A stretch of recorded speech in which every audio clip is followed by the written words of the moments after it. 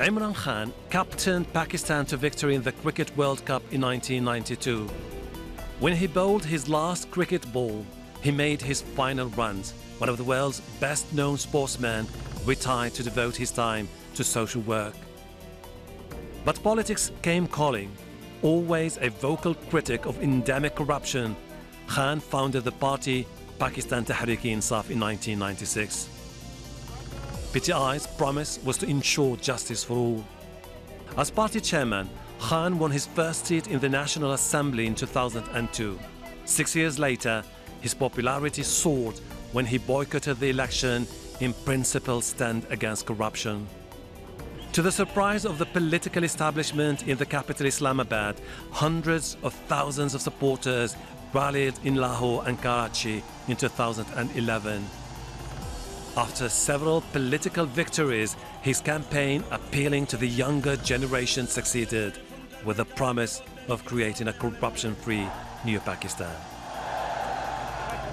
Khan was sworn into office as the country's 22nd Prime Minister in August 2018. So, two years on, how's the fight against corruption going? How is he coping with the geopolitical changes? Has he turned the economy around? What about human rights and media freedom? And how he's managing Pakistan's response to the COVID 19 pandemic? Some of the questions we put forward as the Prime Minister of Pakistan, Imran Khan, talks to Al Jazeera.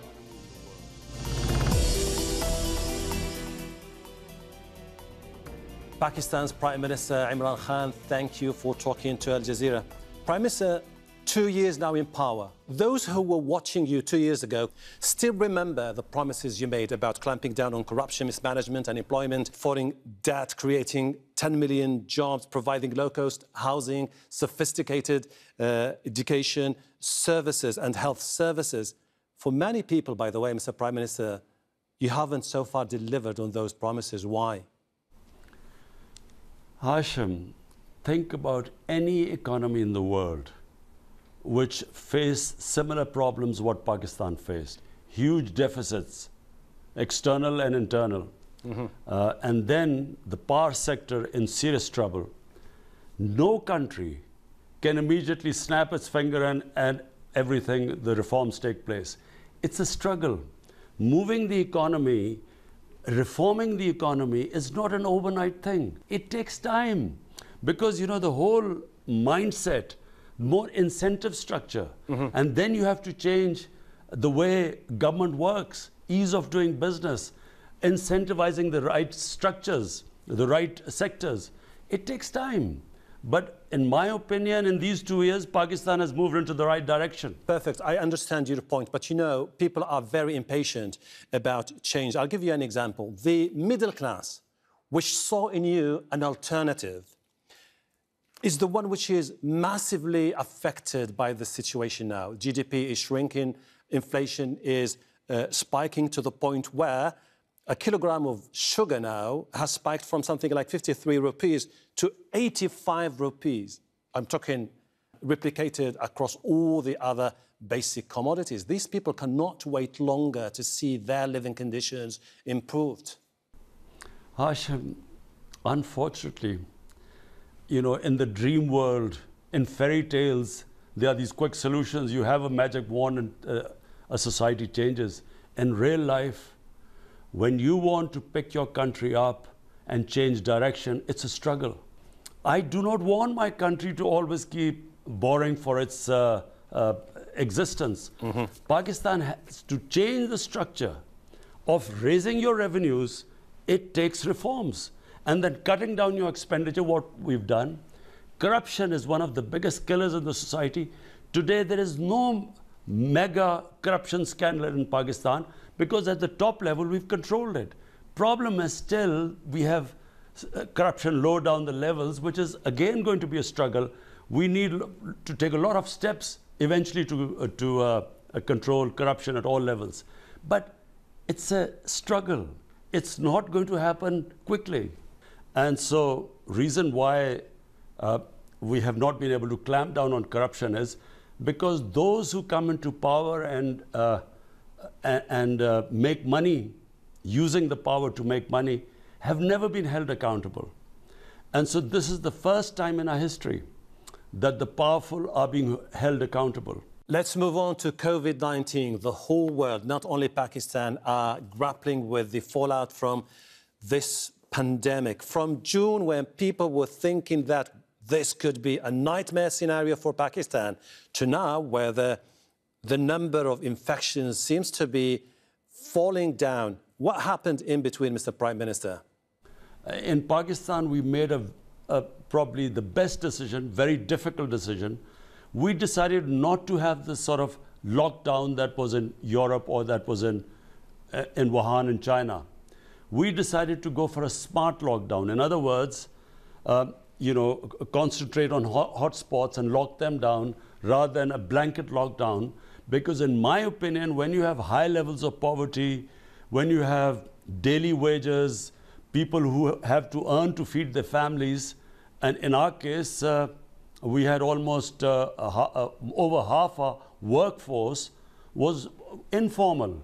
I so, see your point. So if we put a uh, lockdown on these people, there, there was more chance of people starving to death. We're, still, we're still talking about domestic issues here, Mr. Prime Minister. I would like to talk about the freedom of speech, which is under attack in your country. I still remember when you said repeatedly in the past, there is absolutely no way that media freedom or freedom of speech would be curtailed under my watch. It's now being curtailed under your watch, Mr. Prime Minister. Hashim, what is the evidence? Can you just tell I'll me tell you. how we are curtailing the freedom I'll, of speech? I'll, I'll tell you. International human rights organizations, as well as local organizations, are talking about a trend where journalists, activists, critics have been intimidated, silenced, kidnapped, to the point where they are saying that Pakistan has one of the worst records in the world for enforced disappearances.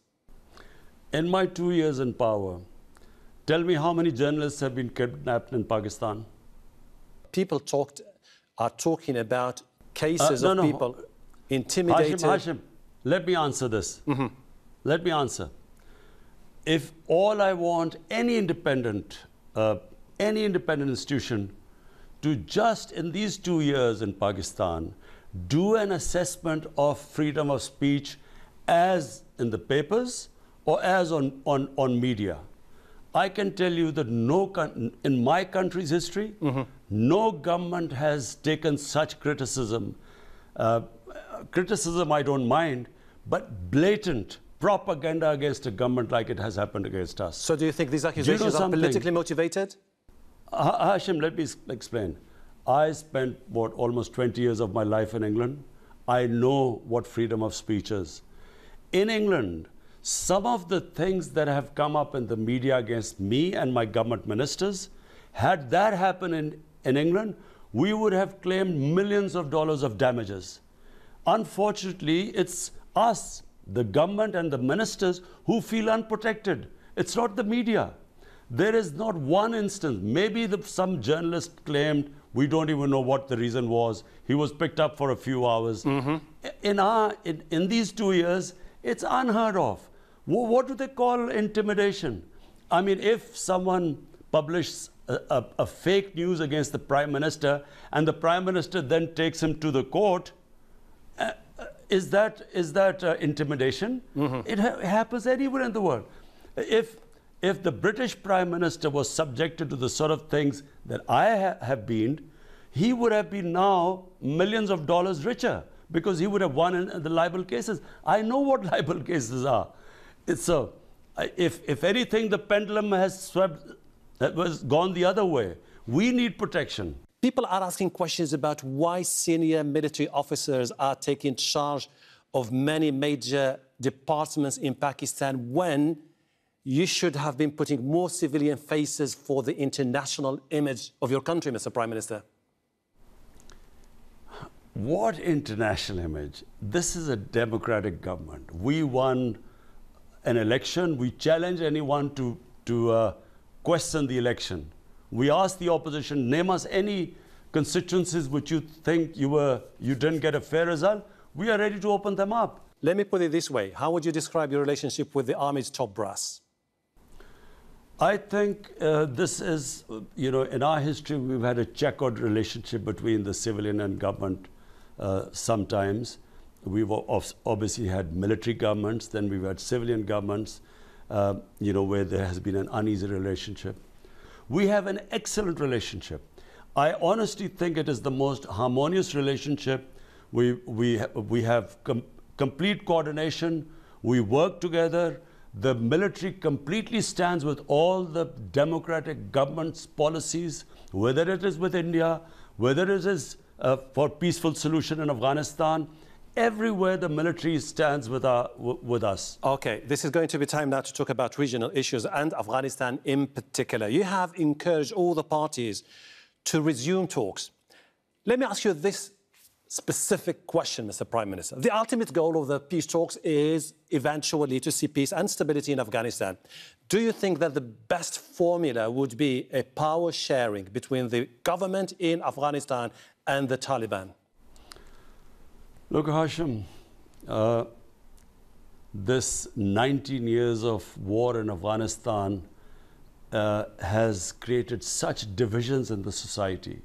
There's been so much bloodshed that for anyone to believe in this utopia that suddenly they will all get together and there'll be peace, I'm afraid it's a very complicated situation. But given the complicated situation, and by the way, I was the one who kept saying that there was never going to be a military solution, that there should be a political solution. Had they listened to me earlier, we probably would have had less complications. The longer this war went, the more the rivalries, the hatred, the divisions, and the more difficult it is to actually sit down together with all the antagonists. But this is the nearest we have got to peace in Afghanistan and a political solution. But then what's the end game from a Pakistani perspective? What is the end game here from a Pakistani perspective? Would you enjoy or welcome the idea of a power sharing agreement where the Taliban, along with the political establishment now in Kabul, come together and form a national unity government. Are you in favor of that formula? Yes or no, Mr. Prime Minister? Hashim, whatever the Afghans think is good for them is good for us. Okay. Whatever influence we could use, I honestly think we've tried our best to somehow get the Taliban and Afghanistan sit, uh, government sit on one table. And, you know, this is a miracle that it is actually happening. We pray that this, this happens. We realize that they are spoilers. I'm afraid there are, people, there are there's certainly one country, India, which does not want it to happen. And this is exactly what I wanted to ask you. You have been always skeptical. I'm talking about the of a Pakistani established uh, political elite. They have always been skeptical of the post-Taliban uh, governments in, based in Kabul. Is it because you feel like they are leaning more towards India? Or that India could uh, take advantage of the situation to, to create new political realignment? Well, look, if you were Pakistan, you have a neighbor seven times bigger than you, and then it starts meddling in the affair of, of, uh, of a government which it has no boundaries with. Uh, India has no boundary with Afghanistan, but Pakistan has a huge boundary with Afghanistan, and all our relationship with Afghanistan, even before Pakistan came into being, was are centuries old. Now, when India starts interfering there, unfortunately, our security forces, our security operators gets worried. It's natural. It would happen to any other country. But we have decided, we in Pakistan have decided, we don't care what India does there, but whatever is good for Afghanistan is good for us. We feel that peace in Afghanistan, after, after Afghanistan, the other country which has a stake in peace in Afghanistan is Pakistan. Because instability there creates instability on the border regions, what was our former tribal areas, and, and that affects the whole of our country. You've been saying basically that you are always open to dialogue with the Indians to end the issues that you've been having with it for many, many decades, particularly the issue of Jammu and Kashmir. Now, it's been now a year since the Indians decided to revoke the special designation of the region, effectively annexing Jammu and Kashmir. Uh, do you have any hopes that with Narendra Modi you can sort it out? Uh, Hashim, look, let me just make it clear. I do not believe in military solutions. I have never believed in military solutions. The moment I became the Prime Minister, I extended a hand of friendship to India. But the tragedy of India, Hashim, is India is being ruled by an extremist. It's an extremist government. It is, it is a Hindu supremacist government inspired by the, the ideology is inspired by the Nazis. And what I'm saying, the Nazi Germany, what I'm saying, all you have to do is look at the history of RSS, which basically is ruling India now. It was an extremist orga organization. RSS thrice was outlawed in India as a terrorist organization. They now control 1.3 billion people nuclear armed. That's the tragedy what's happened in India. I know India better than most Pakistanis. It's not just that our neighbors, we time, are threatened. It's not what they're doing in Kashmir. Hashim, it's for people in India. The sensible, the normal people in India. It's a tragedy for them what is happening there. But don't you see that Pakistan itself should understand that they cannot continue as a country to see themselves as the victim forever? And just I'll give you a hint here. You've been trying to rally international support. The United Nations Security Council met three times about Kashmir. Absolutely no strong sign of solidarity with your country, all symbolic gestures. Don't you feel like you've been abandoned by Western allies? Hashim, number one, Kashmir is a disputed territory between Pakistan and India since 70 years. Now, this disputed territory on 5th August last year was taken over by India by brute force. 8 million people in Kashmir in an open prison and 800,000 Indian troops in the valley who are now oppressing them. Now, we have knocked all doors and we will keep doing so. We went to the United, I spoke in the United Nations uh, Security Council. I've spoken to the heads of states. This is a, an extreme injustice, not just for people of Kashmir. It's, if this escalates, and if this breaks up into a conflict between Pakistan and India, this has implications for the rest of the world. That's why it's serious. But why is, the world is, is, not saying anything right now? This is the problem. Because Hashim, listen, exactly. listen, listen, Hashim, let is... me make it clear. Uh -huh. No, no, Hashim, let me make it clear. Sure. The reason why the world uh, or, or certain parts of the world are not responding, because unfortunately, countries worry about their commercial interest. They look upon India as a huge market. And so they are willing to ignore this huge travesty of justice that is taking place there. It doesn't mean that we will sit down quietly and accept this. We will keep trying.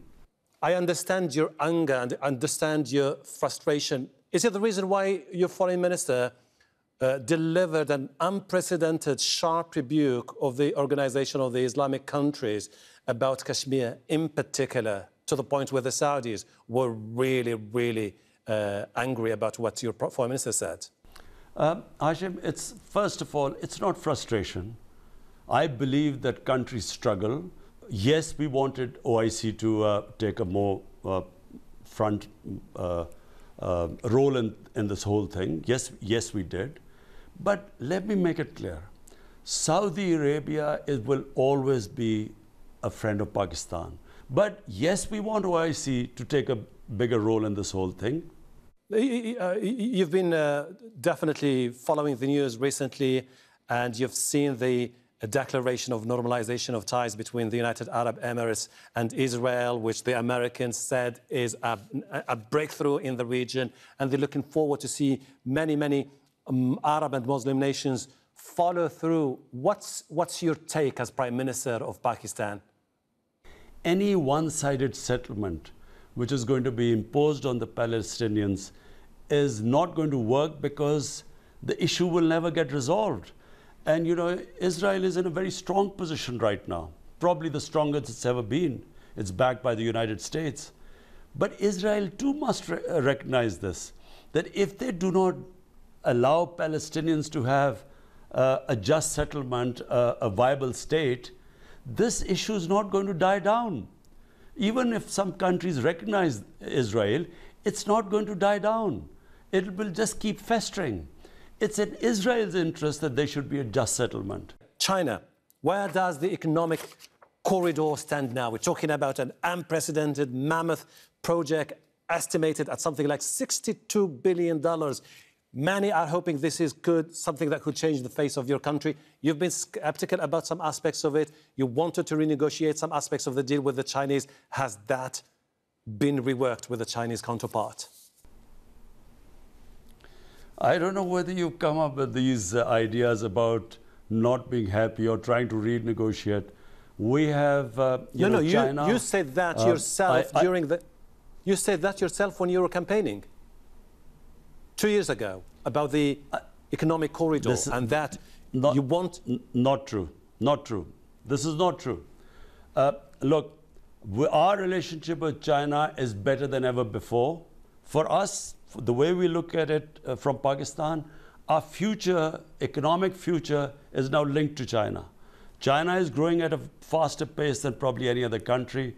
Uh, and, and Pakistan, um, you know, can really benefit from the way China has developed, the way it has lifted people out of poverty. When you say China is our future, are you hinting that you are resetting ties with the United States of America, which has been your ally in the 80s and the 90s, and which has always been critical of the deal with China, saying that it could just put you in a, a, a debt uh, trap? Why does it have to be either or? Pakistan doesn't have to be any camp. Every country looks, uh, looks uh, uh, uh, to its own interests. What is best for people of Pakistan? Why can't we have good relationship with everyone? We probably have the best relationship with the United States right now because we are partners in peace in Afghanistan. We did not have such a good relationship a few years back. We have a very good relationship right now. And I do not see why it's either China or the United States. Mr. Prime Minister, this is going to be my last question to you. If you remember those who voted for you, those who had faith in you, those who saw you as an outsider, not affiliated with the traditional political dynasties of Pakistan, those who had genuine hope that Pakistan tomorrow will look different, modernized, transparent, efficient in terms of economy, and moving forward, departing from the past. Your country, unfortunately, till now, and its political elite in particular, is trapped in a past mindset. And you know, you must agree with me that you have this very small window to change the country. Otherwise, it's going to be too late. Do you have that feeling? Do you, are you concerned about that potential? What are you going to tell the people who are going to vote for you in two years from now? Um, Hashim, I don't uh, look upon Pakistan like the way you're saying you have a small window. I think Pakistan is a country of tremendous potential. The biggest change in Pakistan, if you want to know what is the change in Pakistan? Mm-hmm. It's the first time in Pakistan we are changing it from an elite, elitist system. Pakistan has what we call elite capture. Unfortunately, Pakistan, the rich kept getting richer and the poor getting poorer. We have, we have changed this whole thing. All our policies, whether it is the construction policy, whether it is the education policy, all our economic policies are aimed at raising people out of poverty. The difference between Pakistan of now and before, our main concentration uh, are the people of Pakistan. Policies aimed at, at giving them justice, giving them education, a, a, a, health system. First time we've got health insurance in Pakistan so that the poor people have health insurance. They can not worry about the cost of treatment. These are new changes in Pakistan. One education system core syllabus which from next year starts, we had three tier systems. So we're changing the way Pakistan will grow. Imran Khan, Prime Minister of Pakistan, I really appreciate your time. Thank you, thank you, and thank you for talking to Al Jazeera.